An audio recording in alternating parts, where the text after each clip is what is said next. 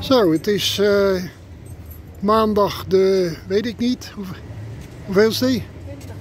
Het is maandag uh, de 20ste.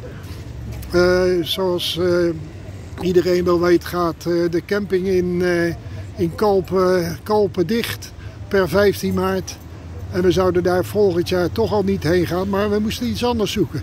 Nu zijn we in Viri, Villa, Villa Jotja terechtgekomen en we hebben geboekt voor, uh, voor volgend jaar of einde van dit jaar uh, eh, 1 oktober tot 15 maart.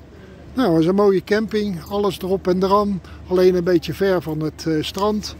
En, maar de boulevard, als je met de fiets gaat, is de boulevard best wel, best wel leuk. Overschakelen, Anja zit nu op de boulevard. We kijken net naar, naar Benidorm daar. Dus daar is, uh, daar is Benidorm. Daar, ja. Dus uh, ik ben benieuwd uh, hoe dat gaat hier.